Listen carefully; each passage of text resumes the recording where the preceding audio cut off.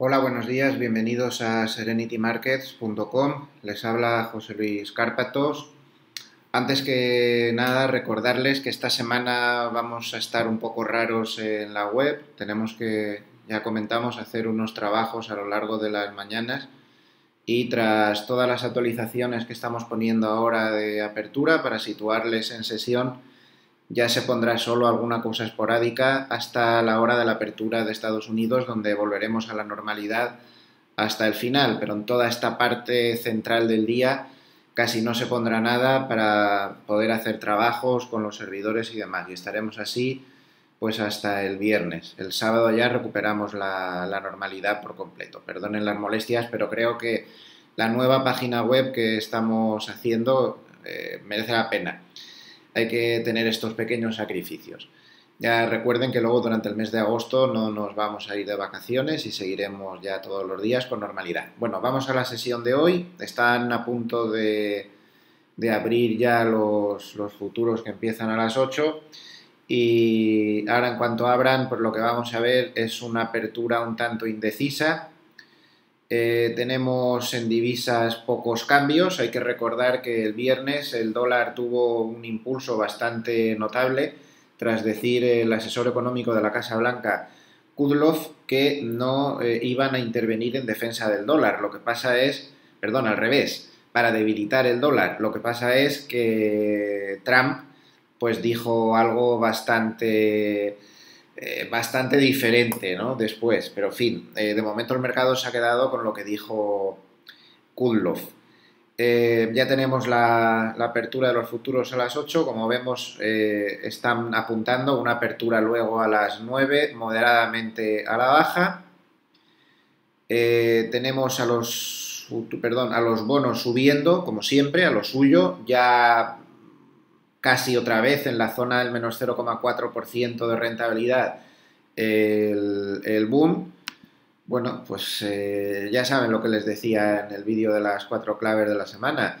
Ahora sí que es posible que pueda superar este nivel porque el mercado cree que en septiembre el BCE podría bajar la tasa de depósito del menos 0,4 al menos 0,5, con lo cual tiene más margen de subida, desde luego.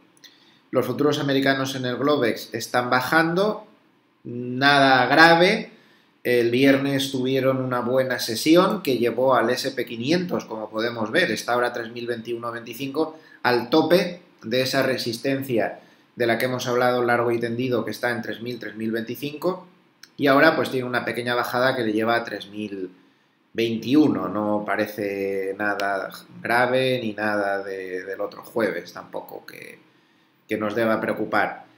Eh, ¿Conseguirá romper esa resistencia definitivamente con la influencia de esa reunión de la Reserva Federal el día 31, que es la clave absolutamente y totalmente de esta semana? Pues no lo sabemos, los gráficos nos lo dirán, nos lo dirán. Eso es la, la clave un poco de lo que va a pasar esta semana, esa reunión ya no solo por la reunión en sí, que va a generar muchísima volatilidad, sino por las posiciones que previamente a la reunión pueda tomar el mercado y que puede moverlo todo, o no, o, por las posiciones que tomen después. Desde luego es la clave y esta semana va a pivotar completamente ahí y todos los operadores estarán muy condicionados por ese asunto. Tras ese buen cierre, por los resultados sobre todo de Google y de Twitter del viernes, eh, que fueron realmente muy buenos y subieron mucho estos valores, pues hoy no lo estamos tomando con calma, una cierta digestión, tampoco hay que darle mayor importancia.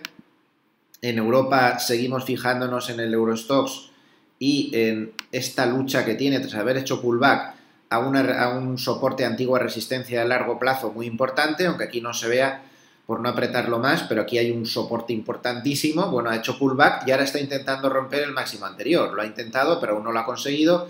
Si rompiera toda esta zona de aquí, seguramente se iría al alza. ¿Para que haga el Eurostox eso? Pues me parece que el SP500 también tendría que romper su resistencia porque si no, no lo va a hacer. Y volvemos a lo de antes. Parece que va a depender mucho de lo que pase con la Reserva Federal. Bueno, el oro plano y el petróleo no tiene nada de movimiento hoy con menos 0,28%. Hoy se reinician las conversaciones entre China y Estados Unidos. Hay pocas novedades durante el fin de semana en cualquier frente Y como no, pues eh, seguimos en temporada de publicación de, de, resultados, una temporada que empieza a declinar ya en Estados Unidos, donde ha publicado ya casi todo el mundo, aún quedan, eh, y podemos decir que es definitivamente una buena temporada de resultados, con el 75% de los que han publicado hasta ahora por encima de lo esperado. O sea que la temporada de resultados bien. También la parte buena es que el blackout de recompras eh, ya se ha quitado al pasar la temporada de resultados. Puede ser que el blackout de recompras, perdón, haya influido en que esto esté con un cierto atasco desde hace tantos días, pues todo lo que ha durado la temporada de resultados, porque al mercado le han cortado el único flujo que tiene de entrada de dinero, que es muy importante, es un flujo muy importante, pero es el único que hay.